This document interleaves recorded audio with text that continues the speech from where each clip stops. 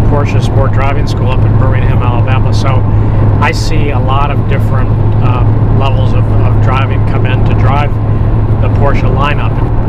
One of the biggest areas where people, even the most experienced drivers, get wrong is the downshift. Downshifting seems like a pretty simple thing, but it's an area that produces the most amount of problem uh, if you don't do it right. The first thing that people do is they they don't realize how great the Porsche brakes are. So they get the braking uh, and the and the force that they're using on the braking wrong, and then so we've got to work one on on getting the braking down correctly. Then once they get the braking down, then we're going to have them match the downshift to the braking. So when do you do the downshift? And, that, and that's a learning process. You don't want to do it too soon. You don't want to do it too late. It has to be done before they actually turn the steering wheel into into the corner.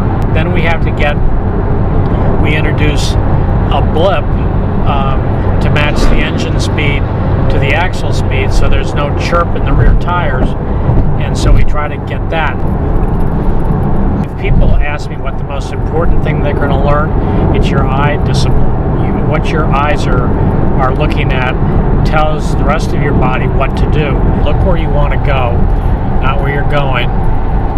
You're always constantly going back and forth. When people, you know, ask me about that, I sort of run when I'm driving a 360 degree circle around me You know that's uh, an element and when they're driving a road like the, the tail of the dragon you really have to be looking out well beyond place where the car is uh, at, at the moment. And you have to sort of get into a system where you're you're not you know going too fast for the condition because that is a, a public highway. You do have oncoming traffic. So you and you don't want to get into a situation where you're going to have to use uh, road that is occupied by somebody else.